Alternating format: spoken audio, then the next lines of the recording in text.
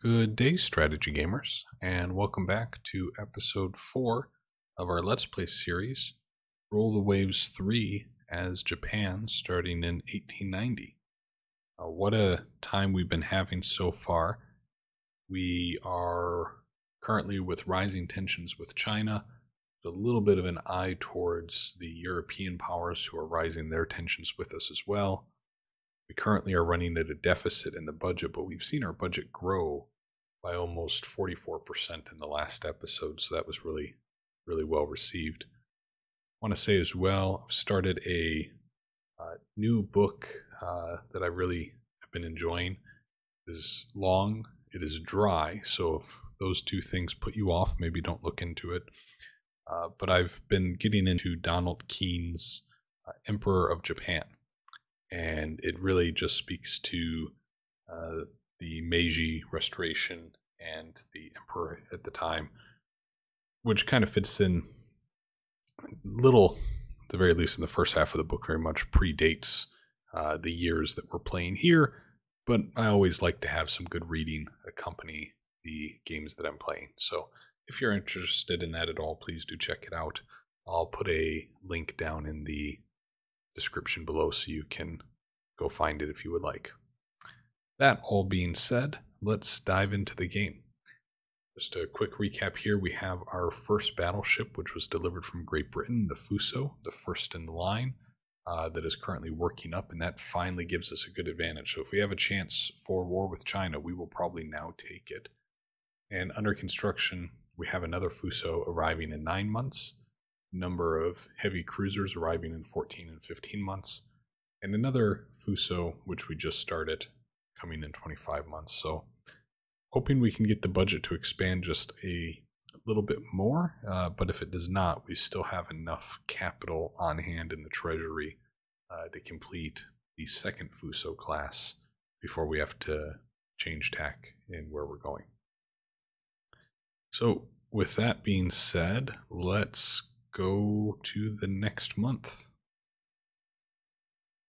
So that's really good news, actually. So we have naval guns research for 11 inch, quality negative two, but that's going to be expected as you know you kind of work your way up in the quality, and we're at the very beginning of the game. So I'm just thankful that we've got something that's got a little bit more punch to it uh, that we can build domestically without having to rely upon foreign powers.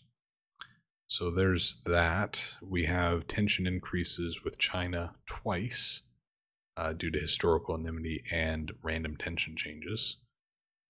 The U.S. has a heavy cruiser Seattle that's going to be done in three months. They also have a new New York uh, heavy cruiser, the top speed of 20 knots, built armor of 4 inches, so pretty standard there. Germany increased their naval budget. Okay. So we now see that China, we are very much so on the brink of war. We are could happen any month now. And it's something that we probably want to look at from our ships in service to make sure that we're in good standing uh, should a war arrive. So we can see from looking at this, we do have the Fuso that's working up. We know that. I think next turn, though, it should be finished working up. So not really too worried about that. Crew quality is looking good across the board. Everybody has a good commanding officer. Uh, now we have one in charge of the Tokiwa that is below average, but we don't really have the prestige to be this early in the game to be throwing around a change in commander there for that. I guess the one benefit that we do have is although they are below average, they also have the special trait of gunnery expert, so I think that's a good thing. We see in our division editor that we have everybody in appropriate divisions. They're all attached to support the flag, which is the Fuso, and everybody has a commander, so I'm happy with that. The experience of the second battle division, which is our flag, is poor, but again, that's just going to come with time as we get worked up and as the ship is actually in the Navy. So I think I think I'm feeling pretty good. We could I'm wondering if we can accelerate the construction though on this Fuso. So that bought us an extra month at the cost of 200 per month.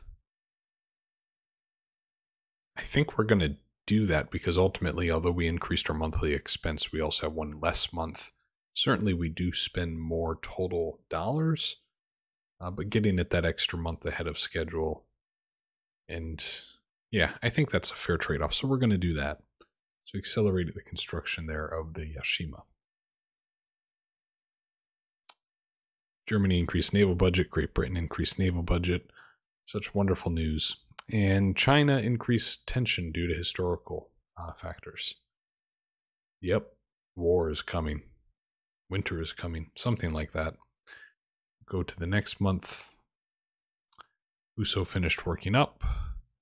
Uh, the rebels in the French Antilles have been eradicated. Folks building new ships. Good. Tension with France is reduced, Italy is reduced, and China increases tension. I think next war we will see, or excuse me, next month we will see war. Slip of the tongue there. Oh my goodness, these damn operas. I need to figure out if there's some type of setting to like prohibit arts from being performed on our ships because crew training has suffered again. After a naval visit by China, you were asked to comment on the visiting ships. So, really, given this, I mean, war, war is going to happen. So, do we maybe just try to get an extra prestige point out of it? I wish this was an event that gave tension or gave budget. Yeah, let, us just push us all the way to war. All right. And more setbacks on the scientific front. And we have, yep, all the events we've already covered. War has broken out between Japan and China. War, it's here. No opportunity for surprise attack. That's unfortunate. Allow us now to turn our attention to a broader look at the situation in war with China. Really, from a strategic considerations perspective, there's a few things I want us to think about. First is let's start on an optimistic note. Let's assume this war goes well. Let's also assume they have the potential to either in this war, or maybe it's even the next war, uh, take a Chinese possession as a result of the peace treaty.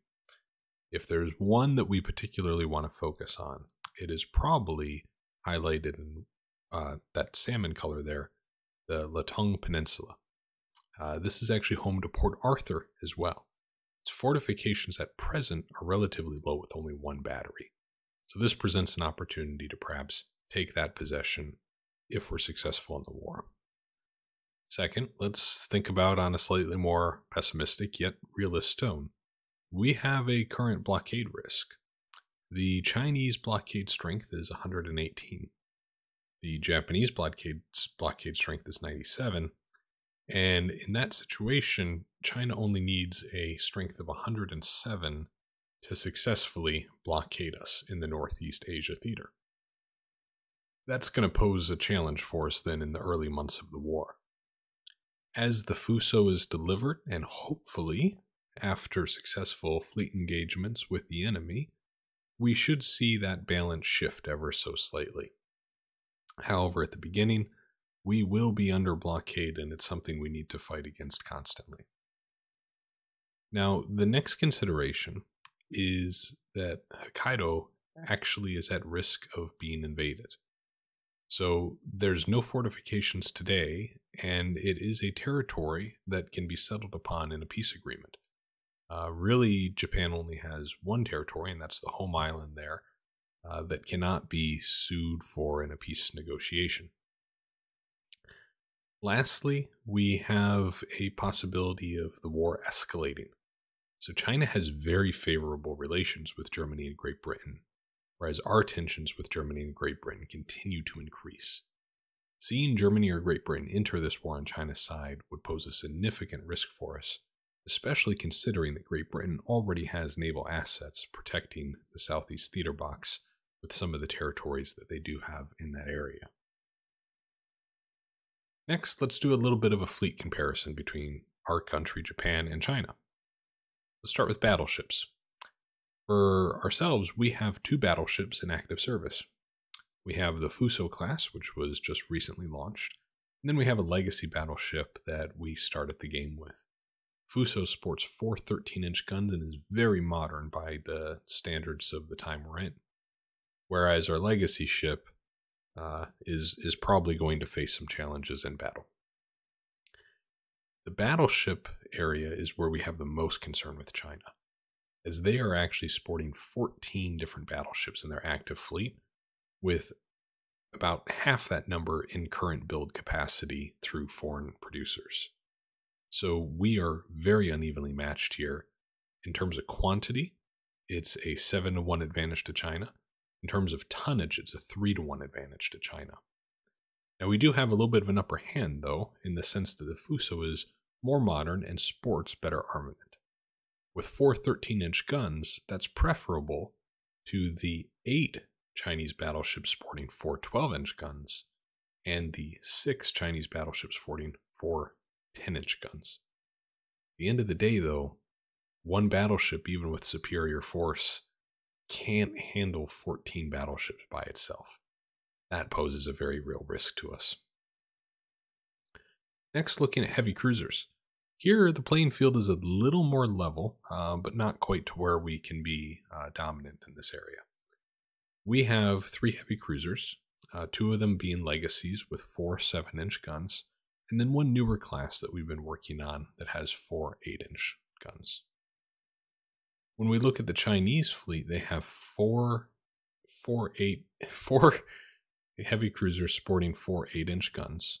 And then they have two heavy cruisers sporting 7 inch guns. One of them has two 7 inch guns, the other has four 7 inch guns. Here again, China has an advantage, but from tonnage, we're looking much more favorable compared to the battleship considerations. And, you know, three against six, that's two to one odds. It's certainly better than seven to one. When we take a look at the light cruisers, though, this is actually where we see that we have the upper hand.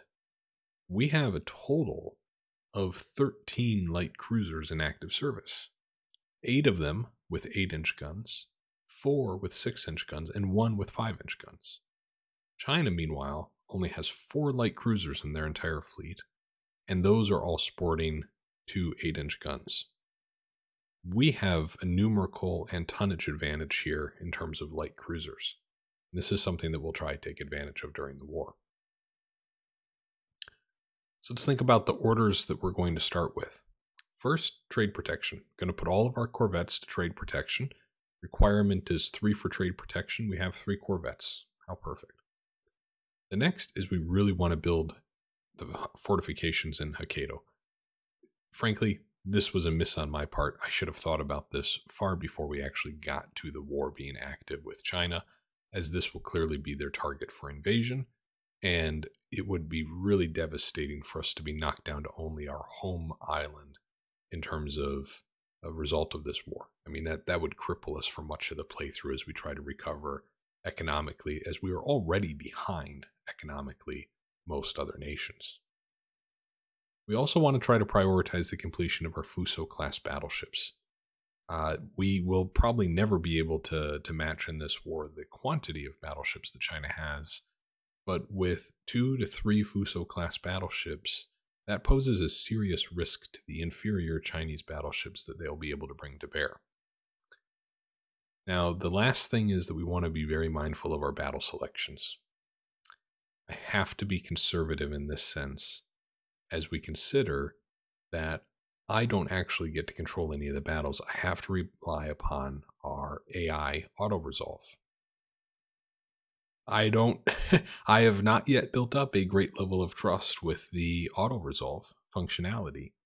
And one bad selection in taking an engagement could result in the devastation of our entire fleet and the end of the war with the per- worst possible outcome.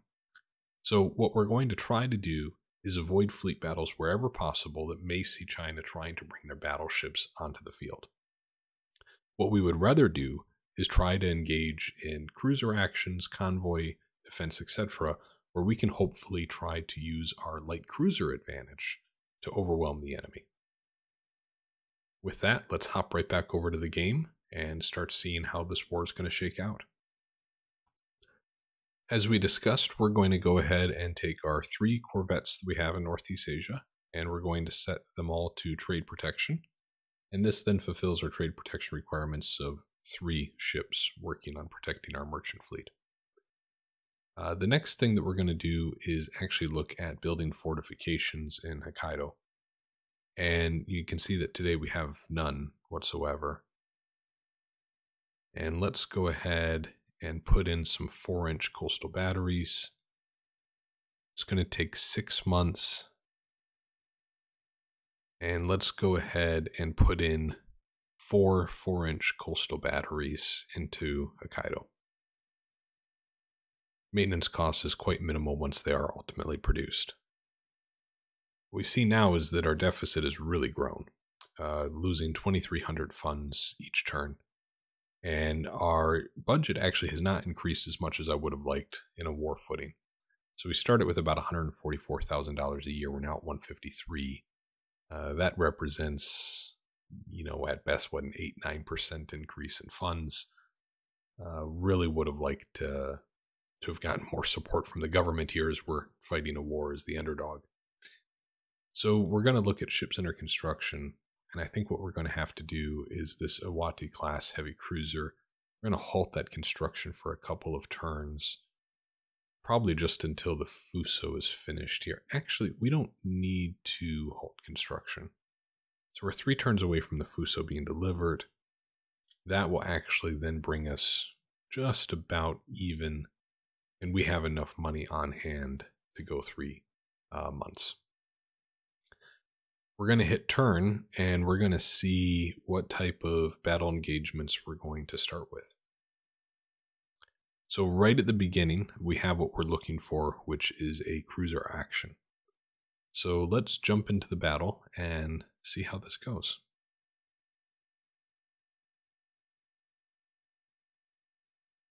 All right, so we see that we have three of our heavy cruisers and three of our light cruisers uh, that were deployed in this cruiser action. And it does appear to be nighttime currently, so I'm, I'm a little less than thrilled by that because in a nighttime battle, especially without any doctrine or training, this early in the, the game in 1890, really anything can happen here. Let's go ahead and auto run the battle though.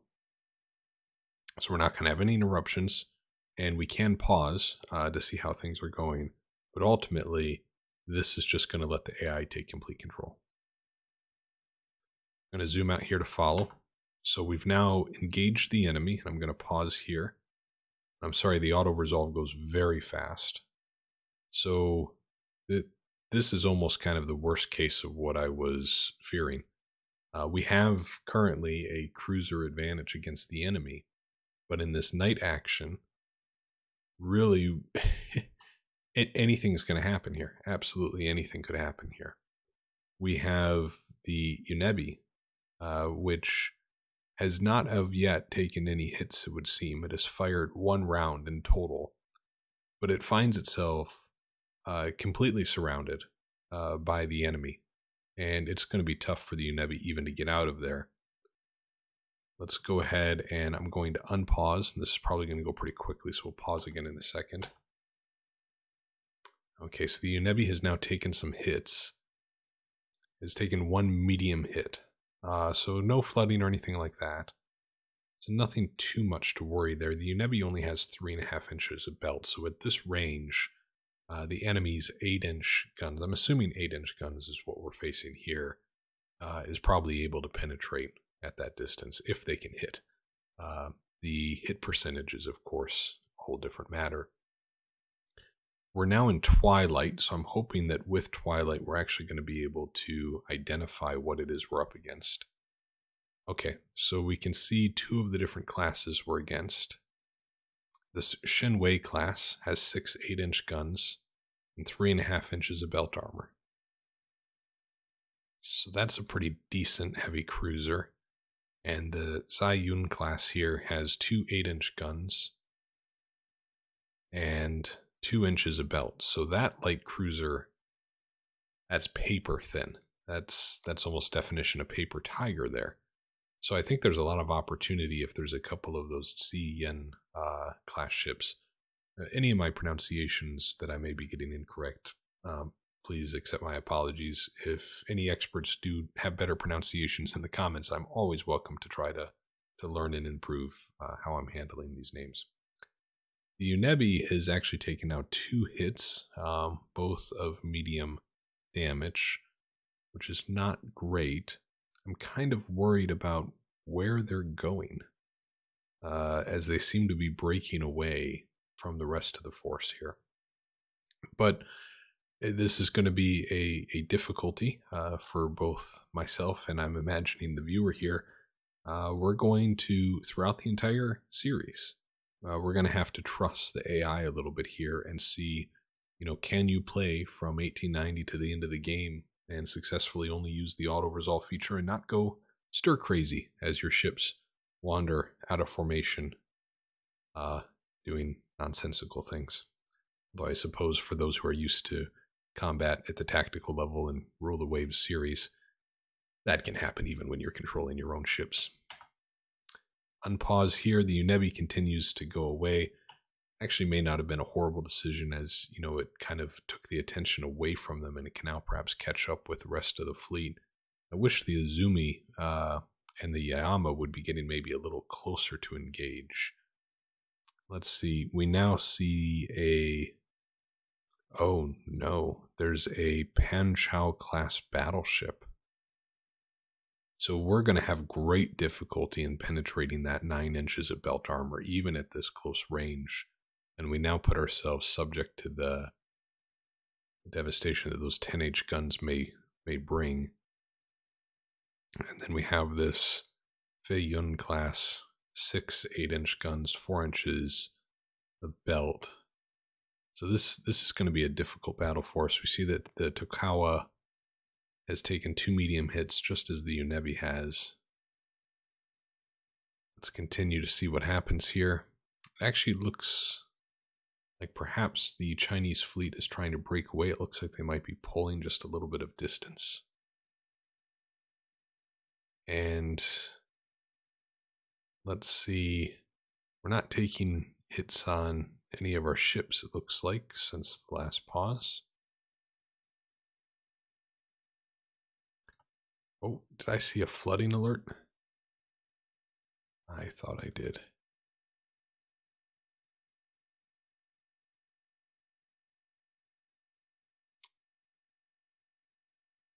Let's see. Maybe I misread. I thought I had seen a flooding alert. Oh, so yeah, the Asama limits flooding. So they took a hull hit, but then they were able to limit any flooding that that was causing. So it looks like damage control just immediately solved the issue, but I do see the Asama now has taken two medium hits. I'm not certain we're going to have any luck in actually penetrating against uh, well, maybe we would with the Shenhui here. And it may be, unless I've lost track of it, that we're no longer facing a battleship here. So it looks like intelligence is updated and it is just this heavy cruiser. So that is really encouraging news for our, our prospects. Now, equally, it looks like the enemy's formation is starting to break a little here as the Xiaoyang and the um, Ziyun class pull a little distance away. The Asama, though, has now taken five medium hits, which is not ideal. And, I'm oh, sorry, wrong button. So it is targeting the Shenhui. That gun quality is really hitting us. Hit chance of 1.44. And we're at a range of 3,600 yards. Okay. Let's just see what we've had. So it has scored a couple of hits on what we used to believe was the battleship, and I believe that battleship is actually this Haiyang class here.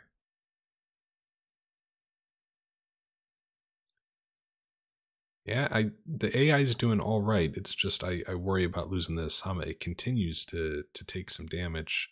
It now has some very minor flooding. But the enemy fleet's formation has really kind of broken up, and I think that's certainly to our advantage. Let's see if we can keep chasing them. The Unebi, I would like to get back into formation and for our light cruisers to maybe support the heavy cruisers more than they are right now. We seem to certainly be pulling speed on them as well. Why are we getting so close? That's a little confusing to me.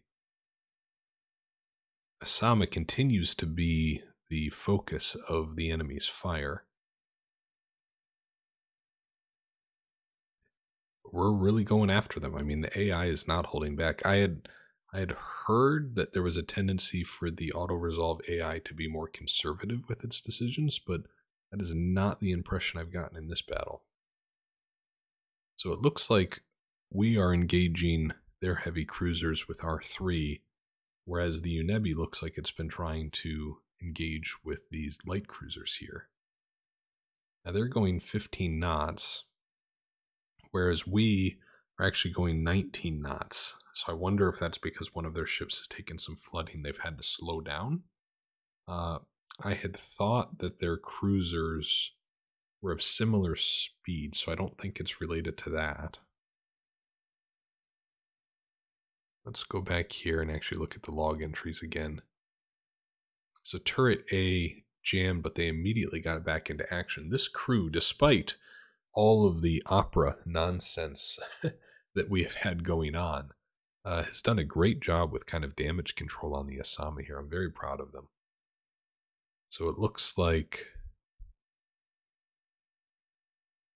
looks like we're having some success here with our our hits actually hitting their target, which is very encouraging. So we'll keep the battle going. Got a couple more hits there, it looked like. What the strategy is of this Chinese fleet, I really don't know. Oh, fire. Excellent. So the He Yang class is now on fire.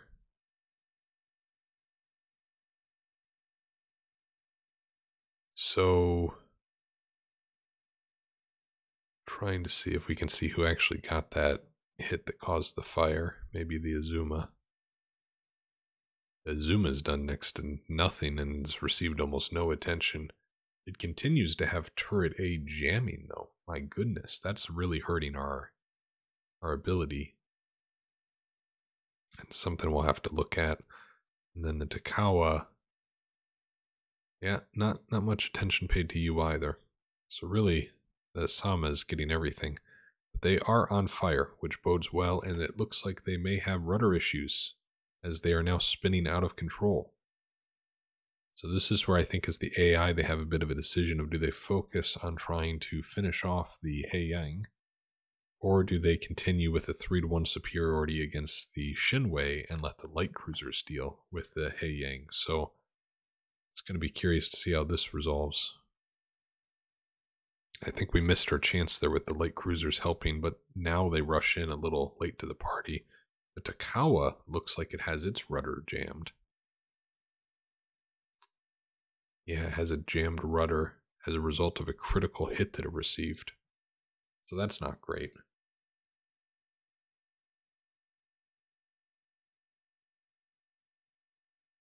Oh my. It's got its rudder repaired now, which is a positive this Shenwei has really slowed down. It's down to 10 knots now. They were going, I think it was 15 just a moment ago. So I wonder again if that's evidence of some flooding that they've received. That Hai Yang, I really wish we could have maybe finished that off when it was on fire and had its rudder stuck. I mean, that's the opportune time there. Taking a lot of damage. We're starting to see flooding now on the Asama. They've taken 21 medium hits, a flooding level of 2. That's not great. Hopefully, if we do lose the Asama, we can at least take out one of their heavy cruisers. That being said, given the numerical advantage that China has in this war, I can't really afford to be trading heavy cruisers one for one. I mean, that's not going to get us far in this war. It does appear, though, that we're going to probably be able to finish off the Chen Wei because it is completely detached from the rest of the Chinese formation. The Unebi continues to be a little wasp in a, I don't know what a good analogy would be there, but a little wasp attacking behind, distracting them a little. All right.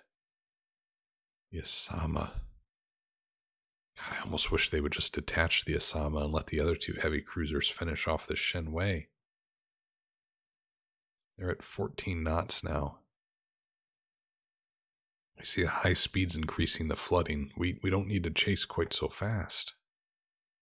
This is frustrating. This is this is going to be a very long Let's Play series as I sit here wishing I could control some of this. Uh, but it, th- this is the fun of it too. Uh, is trying to see how we manage as naval secretary and never actually being out at sea with our fleet. Oh, could we please just finish this thing off? We're getting hardly any hits, it would seem. Oh, did. Oh, it returned to port safely. Horrible news for us. So now we risk the Asama sinking through flooding and not actually having taken out one of their heavy cruisers. Will likely be considered heavy damage, but that is not the result we are looking for. Perhaps we can isolate this uh, Haiyang class up here. I don't know, though. We are in between it and port. And that Unebi has just been a trooper. Look at it go. Let's try to finish this guy at least so we get something from this battle. Well, we've let it slip past now, but it's on fire. That's good. Medium damage and on fire. Come on. Sink it before it gets back to port. This is the second time now it's been on fire. Heavy damage and on fire. We should get it now. I just, I worry about losing the Asama. See how that flooding's doing. Ah, the flooding's getting worse still. The, the level has decreased though, which is positive. We continue just chasing this Haiyang. They've put out the fire. Now it's back on fire again with heavy damage. It's all but stopped.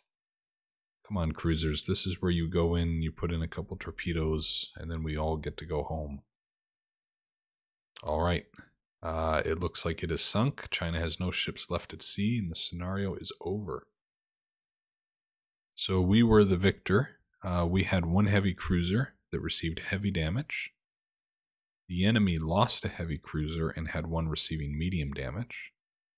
So overall, we we did get the win. Uh, our total points coming to about 8,000 versus their 1,000. We look at the ship details here. Let's see who the heroes were. We let's see. 8,000 damage points were inflicted compared to their 1,000. Really, it was all on the China Cruiser Division. Uh, well, on the Haiyang here. So let's see by hit percentage. Wow, that's actually pretty pretty good. So I think this is from our doctrine seeing the gunnery uh, focus that we've had coming into play here. The Asama, though, despite being in the lead, really had kind of the worst hit percentage. My goodness. Medium hits. Took 29 medium hits. I really feel like this Shen Wei we, we should have taken out. 31 medium hits, 25 light. That was a missed opportunity, I think. All in all, though, uh, quite the the excellent first battle, I think, for the series uh, in Rule the Waves 3. Very happy with that. So, Japanese major victory. We, of course, get a nice boost there to the victory points. So, the enemy does get 290 uh, victory points for blockading us, which we were expecting based off the math we were seeing. And our ally Russia sends a message they're not ready to join the war against China at this time. Oh no. Uh, that's not great. Let's see. So, I don't think there's any benefits other than this one. We lose some prestige. I'm wondering do we press it and, and say we demand their obligation? Or we just say they can join when they're ready? I think we have to press it because we need the Russians' help. We should demand they fulfill their obligations. Oh no. So they did not listen to that, and now our tensions are probably even higher. They are. Great. So I don't know that we can count on Russia saving us in this war. Uh, let's go another month. Nothing really to speak to there. Two more months until we get another Fuso. So a convoy attack. Oh, we want to attack a convoy. If it involves battleships, I'm going to be a little nervous, but let's give it a go. Please don't have the Fuso at sea. Don't have the Fuso at... Okay, so this does not include the Fuso.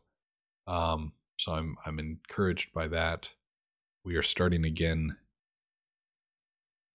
in day, or it's just about to turn to day, it would seem. Let's go to auto resolve. Or actually, is it turning to night? Oh my goodness.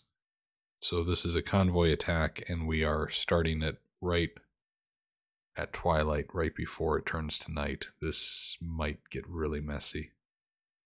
I don't know why we're doing this.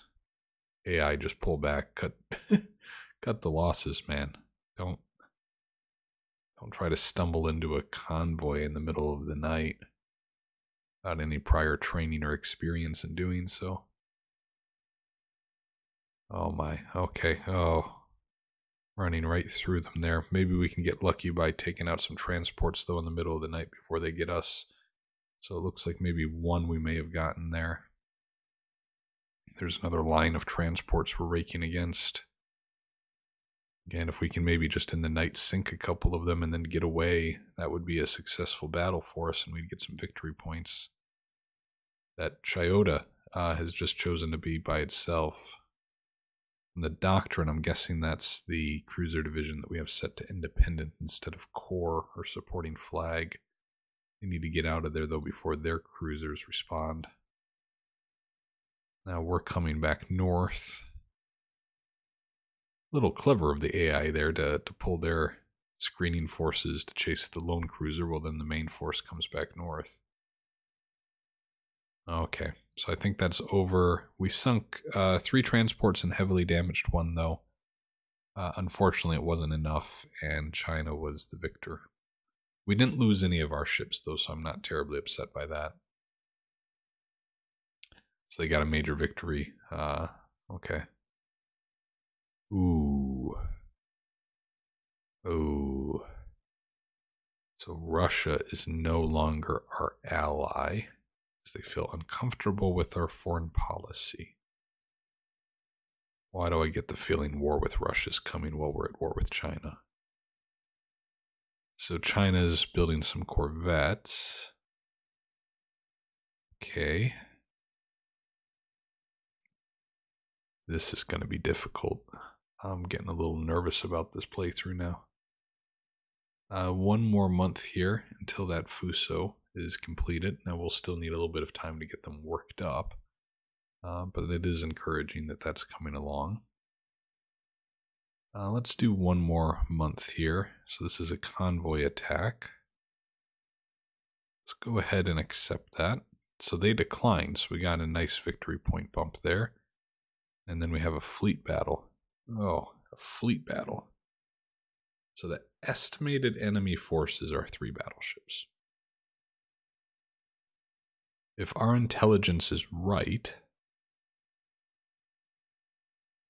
and they actually accept this battle and we get the Fuso out there, we can probably take just with the Fuso three of their battleships, I would expect.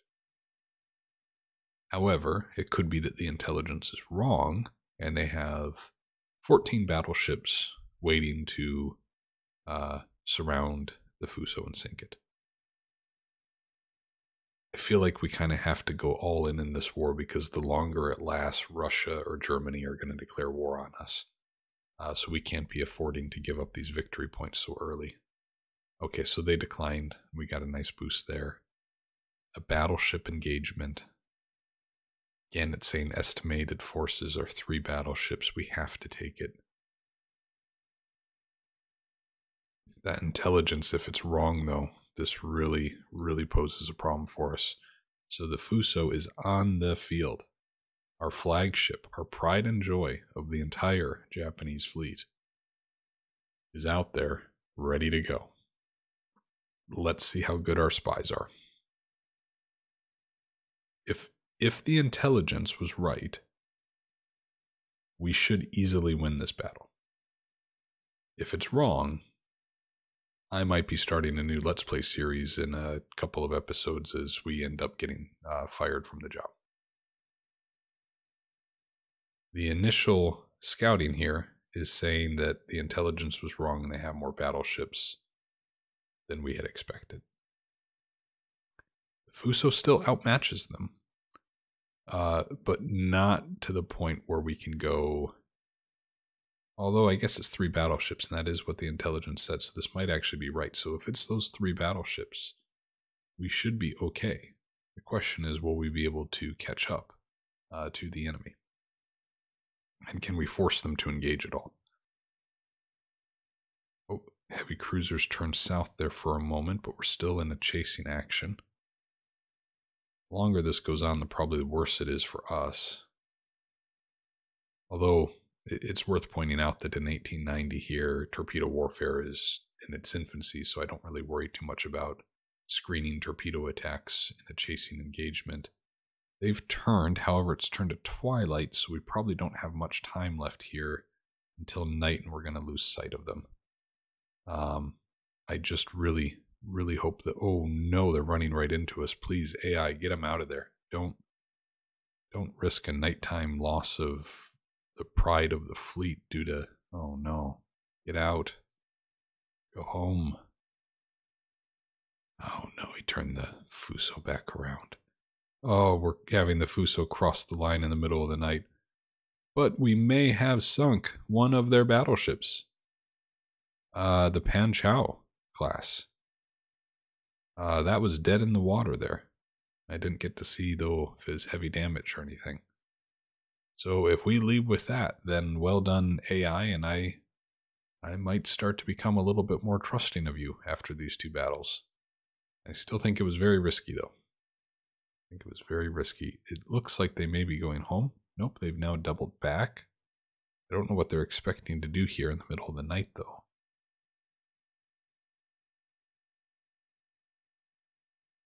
Let's see if they run into anything.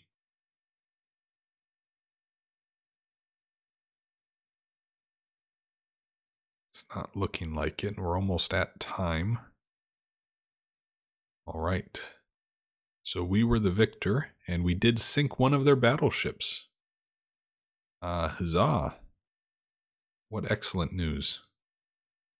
I'm guessing that that was down almost entirely to the Fuso. Yeah, so it was the Pan Chao, and that's pretty much all the damage that they took. All right. Go ahead and close and close. Got a minor victory out of that, so 500 victory points in our favor. The enemy has sounded us out about a negotiated peace with us gaining disputed border areas and some of their colonies. The Prime Minister wants to know your opinion.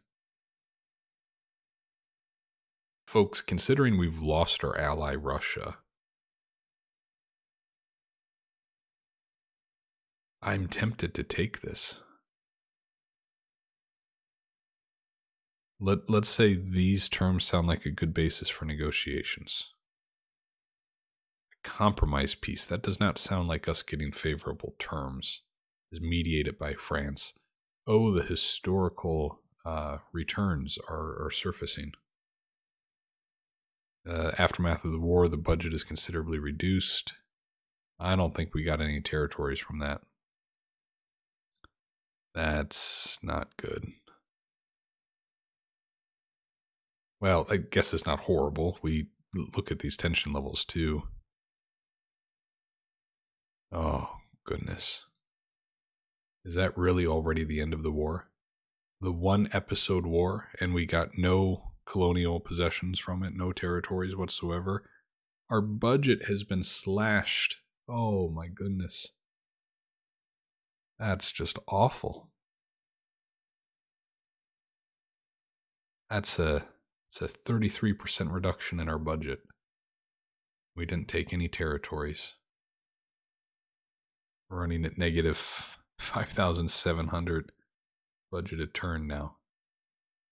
The Fuso is about to finish, though, which will give us back 2,000. Okay. So I think we're going to put two of these heavy cruisers. We're going to halt their construction.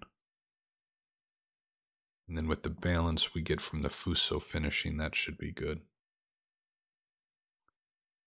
Well, I, I gotta say, I was all hyped up for this war with China, uh, thinking that you know, with Russia's help, we'd be able to to get some good results. Russia then backed out. Then China proposes that they give us some land.